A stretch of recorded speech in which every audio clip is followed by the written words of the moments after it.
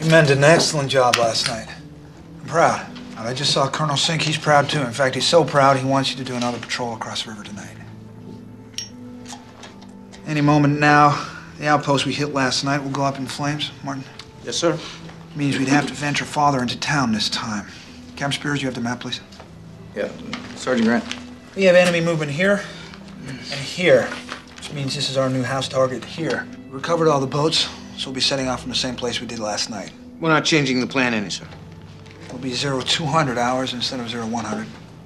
Want you all to get a full night's sleep tonight. In the morning, you will report to me that you made it across the river into German lines. We're unable to secure any live prisoners. Understand? Yes, sir, sir, sir. Look sharp for tomorrow.